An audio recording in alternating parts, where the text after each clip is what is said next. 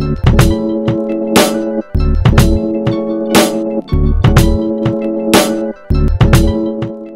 pick up on uh, where we left off in, in the last part, um, there's the, we had a we wanted to discuss a little bit more about the strategy of leftists um, wanting to not vote for Biden uh, as a strategy of sending a message to the to the Democratic establishment about how they feel about uh, the Democratic Party acknowledging their their um, their desires for po- their policy desires. So Dan had a question um, for Lauren on that respect.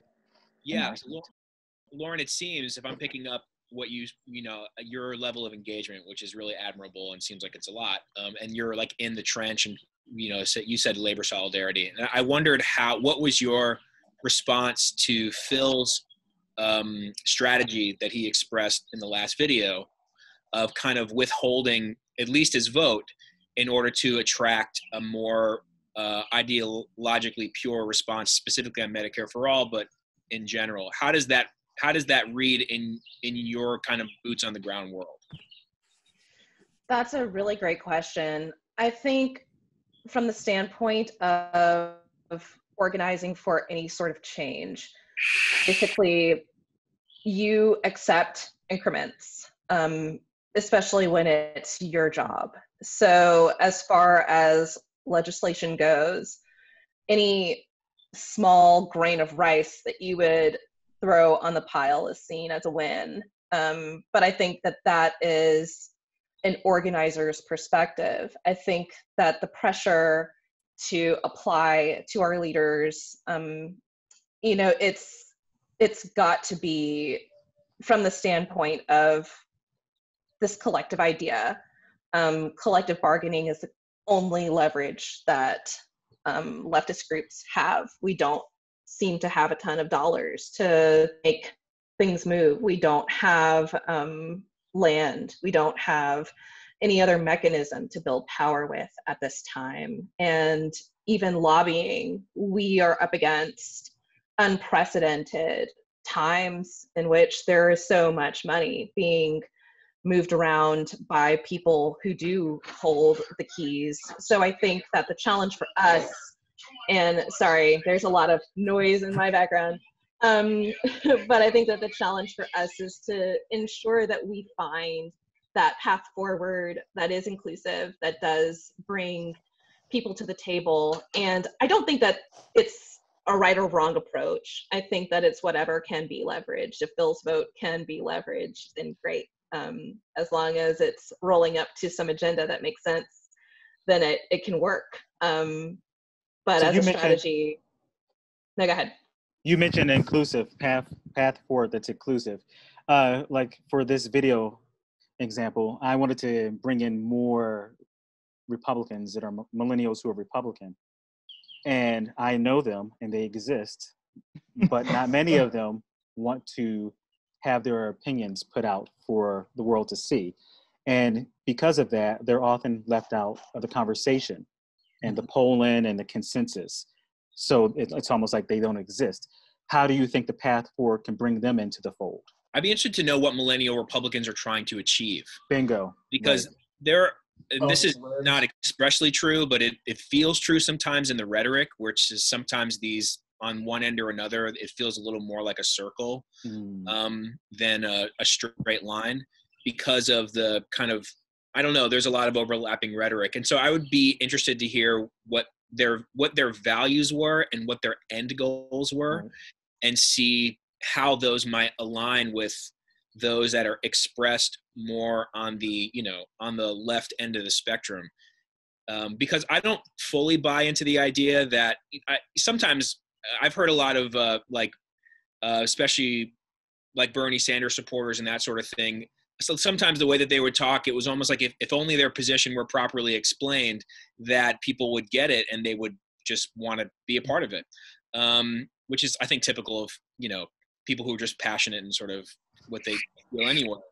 Um, oh, go ahead. Well, yeah, and so and so I, but I would be interested to just see if that conversation could happen, if those exposition explanations could happen whether or not they would find some more specifically like working class overlap um, in what they think they're going for than otherwise. I think like being in Missouri in a deep red state, um, you, run into a lot of, especially millennials, young men, uh, young white males. They tend to be libertarian, and they really think that if the government just le- leaves us alone, that we'll be able to handle things ourselves. That the government, if whether they're giving something, there's always strings attached. Whenever um, they'll say, "Beware if the government comes and says I'm here to help." So they really want to reduce the, the especially the federal government. I mean, that's pretty much a conservative view overall, but they mm. they're very passionate about that. And a lot of the like college ed- educated right wingers, they tend to be libertarian. So they're like they don't necessarily identify with the Republican Party as much as they would identify with like just no government as little government as possible. Mm-hmm. Yeah. So how do, going, how do the social issues like equality, social equality, um, gender equality, how does that factor in the typical classic cultural wars, abortion? I think that they don't care about that. They're just like, yeah. well, I'm not racist or I'm not sexist, so it doesn't matter.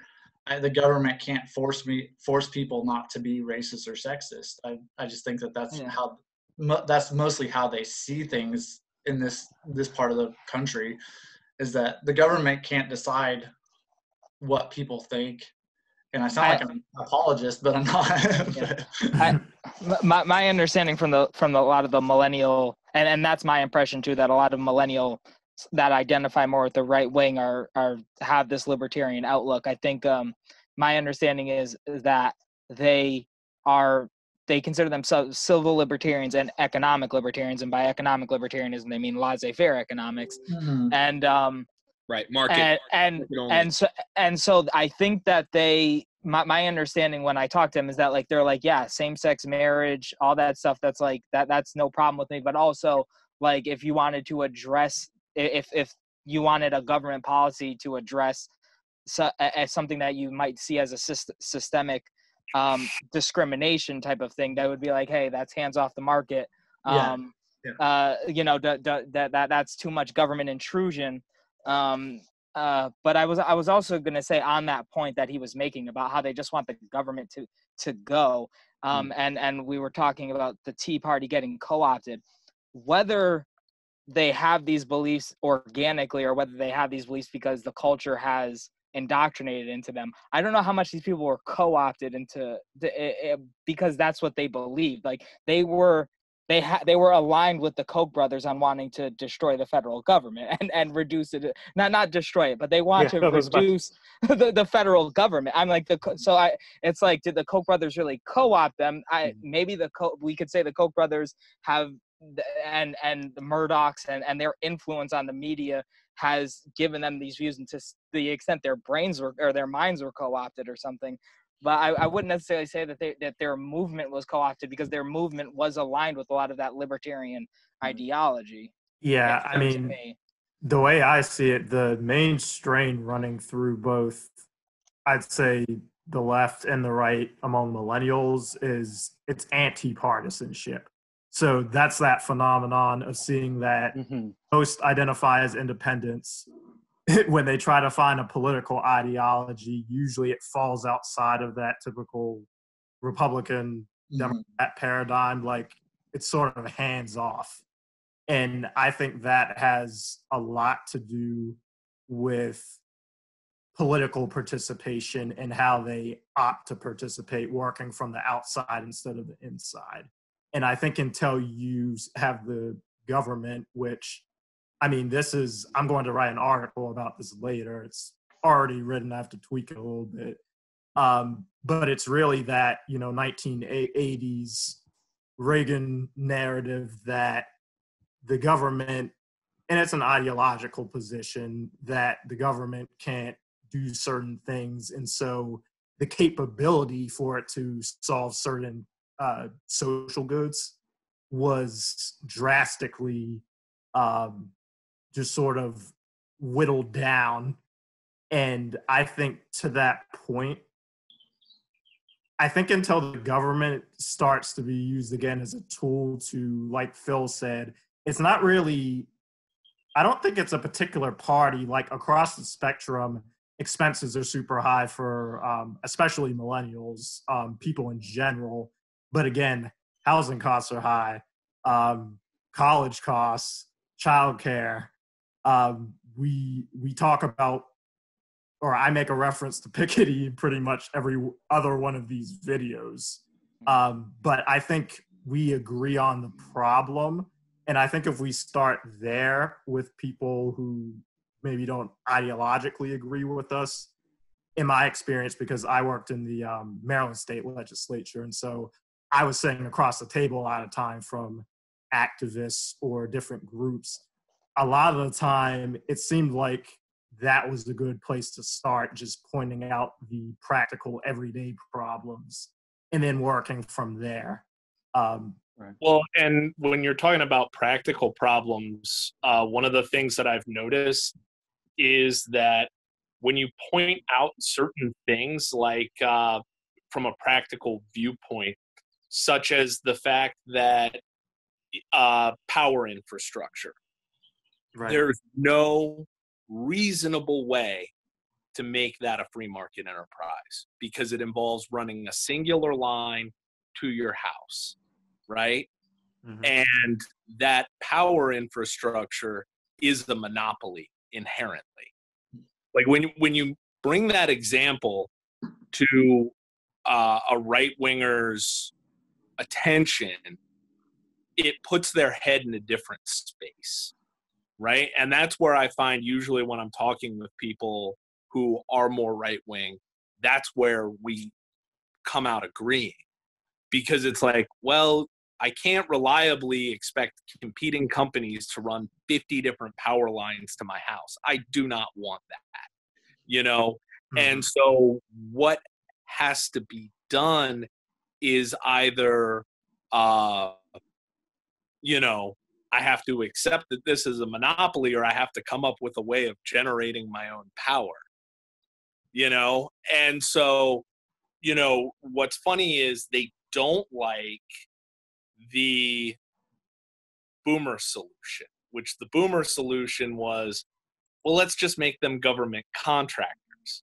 So that way they're private companies doing work for the government because they don't see that as free market.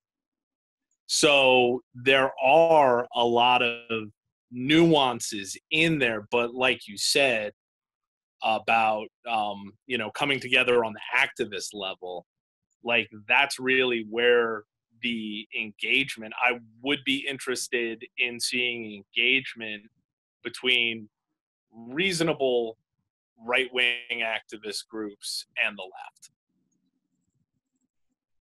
One thing I, I was thinking of as as Darius was was mentioning is I feel like there's also like perhaps maybe a bit of a cycle where Reagan seemed like he did a really good job of convincing that the country that the federal government was just in was a, theoretically incapable of being a force for good, pretty much. Mm-hmm. Um, force for good. I, yeah, I got my perception is that he said government was the problem, and well, well, he he said government promise. was the problem, but he, he said he he also I, it's taken a little bit out of context because he was talking about a specific situation, okay. and so he, he he was saying in this.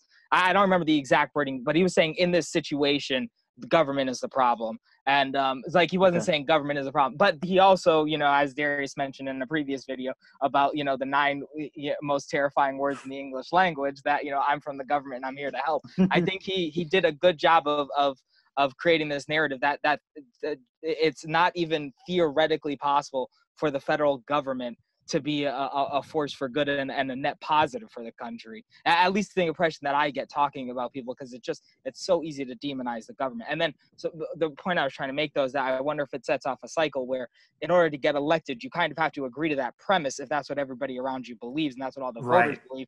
And then, if you are agreeing to that premise and that's what you believe, how likely are you to actually be able uh, to, to even have the motivation to try to make the government a force for good, which only reinforces the premise that the government can't be a force for good, and then the, the voters, and so you have this this vicious cycle. Yeah, it's a feedback loop. Um, yeah, yeah. Well, mm-hmm. back to the original question. This is why I wonder when I was thinking about an answer to the question, it was like, are millennials more leftist? And I, I almost feel like I want to say that they're more left-ish mm. than they are sort of leftist. Um, mm-hmm. because leftism, you know, in an economic sense, is you know, it's it's more collectivism, it's more nationalization, it's you know, labor solidarity, like mm-hmm. Lauren pointed pointed out, and that sort of thing. Um, but I think some of the conversations, like should you know, energy infrastructure be you know privatized or completely, like I almost feel like that that's not an active conversation, or maybe in theory on the fringes, but that those things aren't really under under question um, as much as when we're talking about millennial leftism that we are talking about you know addressing sort of certain economic anxieties. And then you like the coalitional left where you have the cultural left of you know lgbtq uh, uh, equality and that sort of thing. And that even among the emerging you know some of the millennial rightists that's that a lot of those cultural things that ship seems to have sort of sailed you know that only uh, there are the evangelicals perhaps are you know holding on to gay rights and some of this you know uh, impediments to that sort of stuff but that in culture itself that millennials are far more likely to be pluralistic which i think is inherently left lefty mm-hmm. right yeah. you know on the broadest sense you know it's a leftism is sort of a flattening of hierarchy and that on many levels that they don't seem interested in erecting, you know, heteronormative hierarchies as much or any of this other sort of stuff, but they are interested in retaining self-determination, which seating that is that sort of like I do I need to be able to pick what happens to my life is a little more of a right leaning uh, impetus. And so, but on a lot of other measurements, they're sort of they're kind of fine with the power company being owned by the state, and they're you know. Does, does that compute to you guys? It does, yeah. Do Lauren, do you have anything to add to that? Absolutely, um, Dan. I think you're right.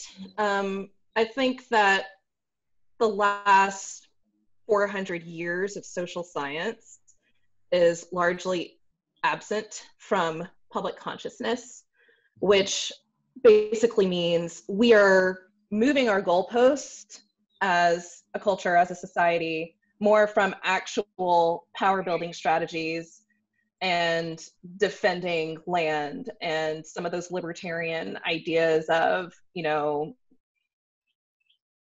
sort of keeping what's yours as what's yours mm-hmm. um, to more taxation is theft yes and more to like yeah. begging for um, token acknowledgement um, from these figureheads so I think that what happened was the Obama administration gave people um, who were sort of thirsty for those token mm-hmm. acknowledgments, like the LGBT community. You know, he just basically said, "Hey guys, I know you exist. You're out there." And um, when people sort of realized that that wasn't power, um, or that wasn't mm-hmm. giving them any sort of actual mm-hmm. um, measurable change, um, they started to become a little bit more radicalized. And so I think we're mm. seeing with the rise of AOC and um, mm-hmm. the cohort there, and even Elizabeth Warren's policies, we're actually seeing a true left emerge. And I think that land dispossession and um, gentrification and the things that kind mm-hmm. of have more of a measurable impact on people's lives are being pushed to the center of the conversation whereas eight ten years ago we were more just so thinking oh it would sure be nice if somebody acknowledged the death of Trayvon Martin versus mm-hmm. you know there being right. actual policy so I do think it's emergent. I don't know how quickly it can accelerate in our current climate of just straight up people not having any idea who to believe anymore. Um, or who to trust anymore um, because i do uh, totally agree. I think those federal um, those anti-fed uh, ideas aren't um, right-wing or even libertarian. I think that there are a lot of people on the left who are anti-fed as well.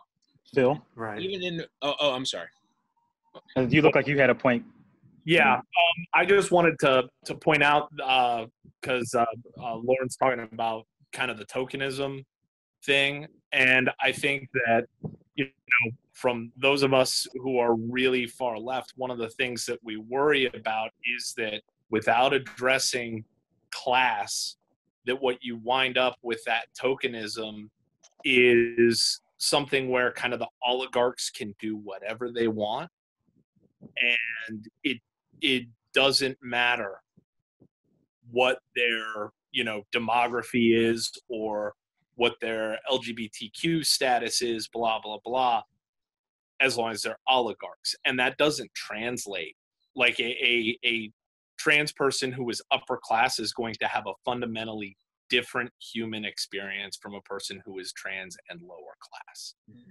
You know it's it's those kind that kind of existence i think that that's what worries the far left and that's why you're starting to see this division with the left and liberals you're you're mm. starting to see a a finer distinction because a person on the left doesn't want to be associated with the uh, liberal who is more of an individualist but also more of a capitalist you know you're you're seeing that that playing out and i think that you're seeing it playing out in the political discourse a lot that what's what's going on is that leftists are pushing forward more of the socioeconomic class aspects of politics.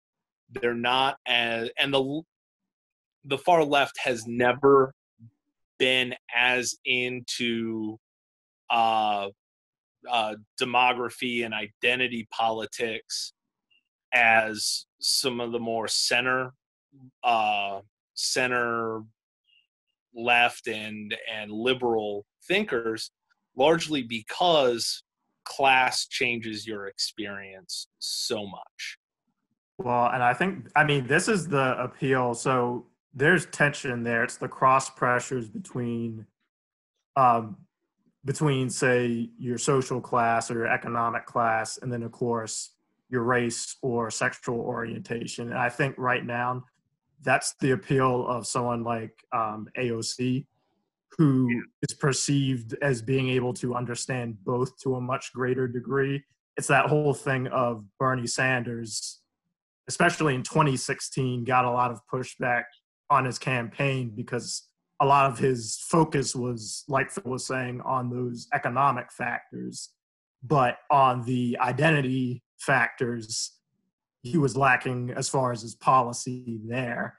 Um, whereas AOC, I mean, really, when you look at a lot of her interviews, a lot of people um, just working in my office, um, I noticed a very interesting, I guess, phenomenon where women and minorities and other people who weren't really messing with Bernie Sanders, they really like AOC. Like they have very much have an attitude of she hmm. gets it, and I think that's very interesting. Mm-hmm. Um, well, and I I think she I think she does get it because she draws the two in together.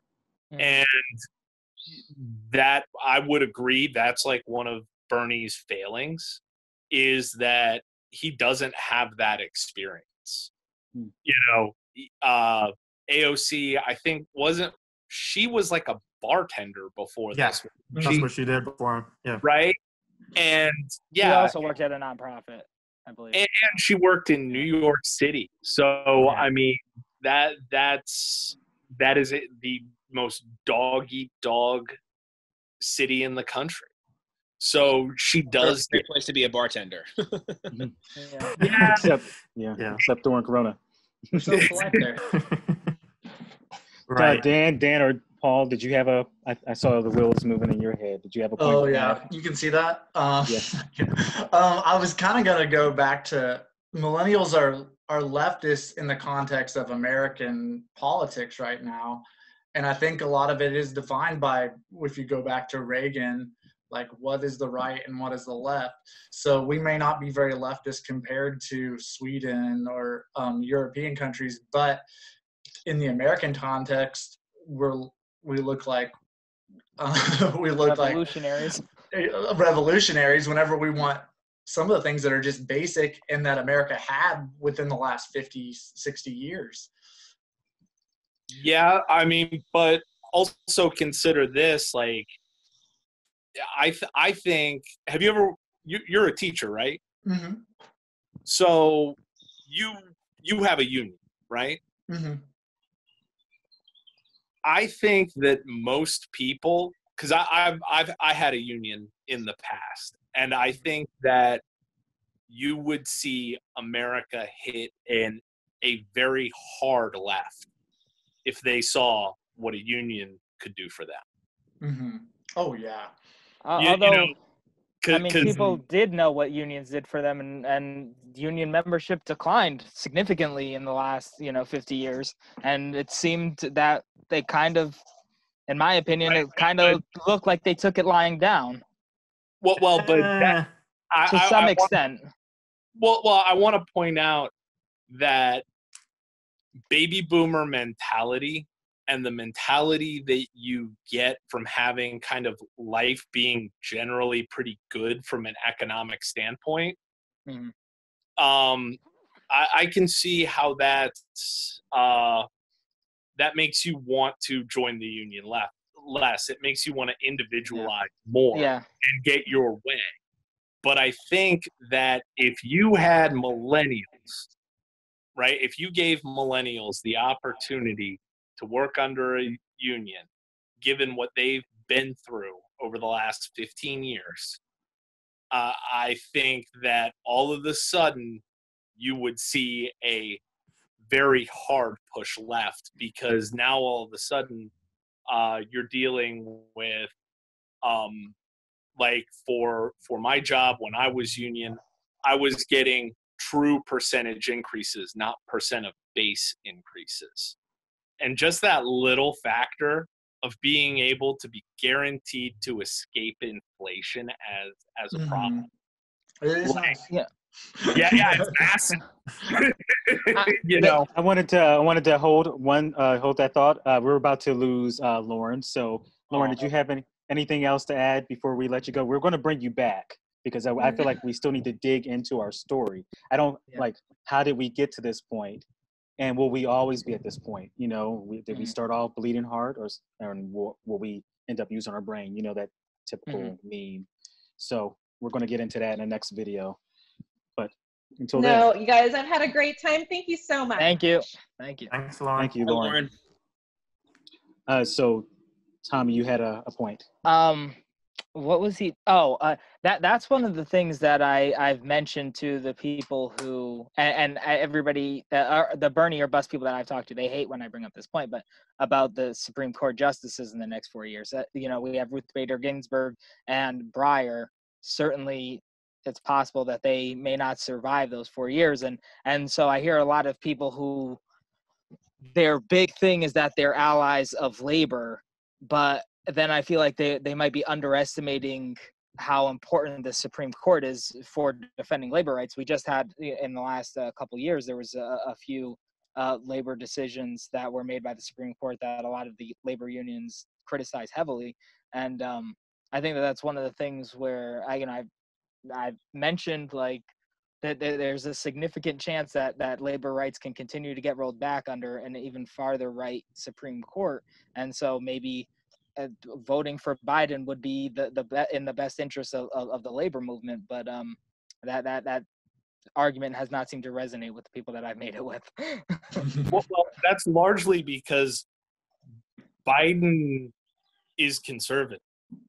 I, I mean, at- yeah, I've heard the the argument day- about that he voted for Scalia back when everybody, when back when all the decisions were made 98 to zero for Supreme Court justices, and you just didn't have the Well, but partisan he- Supreme But Court. he was also when when it came uh, when it came time for Obama to pick picks, he was in the camp of don't pick somebody too liberal. Like that's the that's the whole issue is that and I'm gonna be honest, the dude doesn't seem like he's holding water.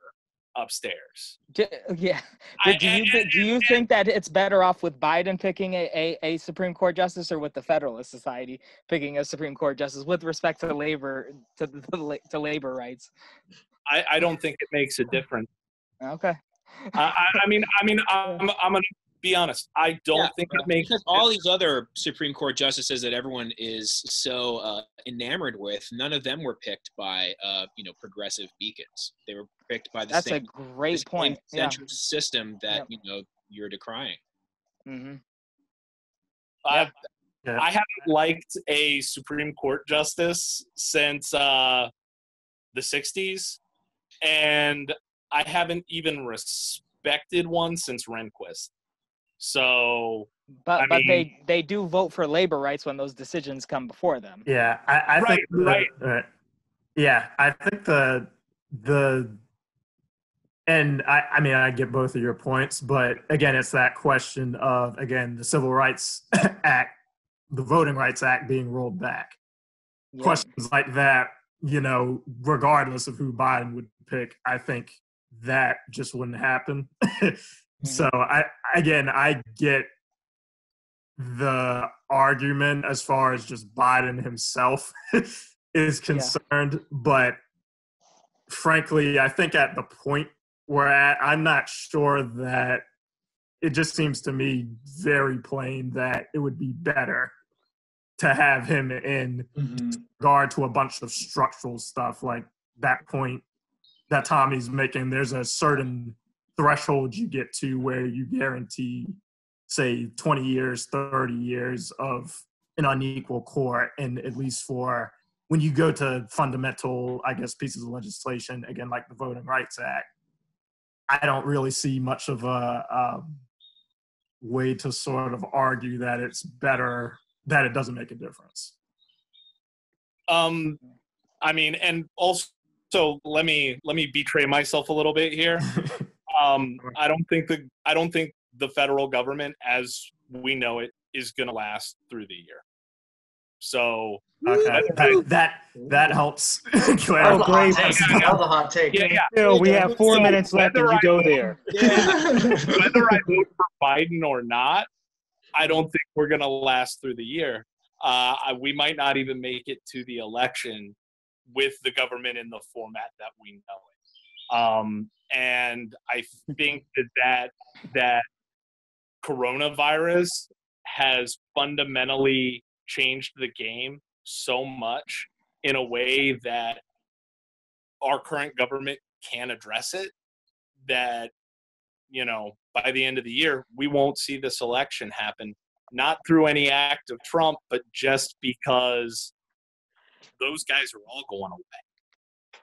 And hmm. I, and I, I think that like when you when you have a guy like donald trump out there sitting there going hey uh, we need the federal government to all come back to work i think the federal government's just going to buck them So you say they're going to all go away. What's it going to be replaced with? I don't know. And that's that's the thing.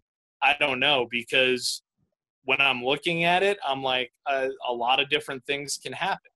You can get, you know, people rising up and throwing them out. In which case, I think you would wind up with a newer, different electoral system. Or you could get with with Trump trying to call call in all of these federal go- federal workers. I hate to say this, but they're the guys with the guns like the heavy duty guns, they might decide that he needs to go. Dan, do you have anything to add to that? I see you. I mean, it's it's it's a joy just to hear just like the the like wildness of that prediction. I don't mean that in like I don't. I'm, I'm smiling not because uh, I I I'm looking down on it, but just because like it's just so fun to hear a big swing prediction like that. Mhm. Um, and um, Yeah. I don't know. I mean, I what's it's interesting because there's there's overlap in what you're saying with what a lot of rightists, you know, their their feeling of like rising up against a federal government and sort of reclaiming it. Like the the mode of revolt is quite similar. Um, but I, I mean, I I tend to think that even with all of our conversation about you know millennials being more leftish, um, that there is something very profound about Americanness that is more conservative uh, than its European counterparts. And I mean, for me, this even goes back to like the American Revolution, which was not an uprising of working class people. It was an uprising of you know dis- disenfranchised elites. Yeah, so uh, people who were clutching to their land ownership mm-hmm. um, and had the you know and had the support of people who were also being taxed heavily in in a way. So so I I actually I tend to think that uh, you know that there is a that there is a conservatism in American leftism, and and, there's also an uh, respect and a kind of adherence to the way that the American government works that I think that they would be more inclined to remove, you know, to kind of like try the standard methods before that they would before the, the, the apparatus would come crashing down. Thank you for joining us for part two of our conversation. And in our final segment, we'll pick up with a discussion about the Overton window in American politics and our relationship with the two party system. Please feel free to join the conversation in the comments.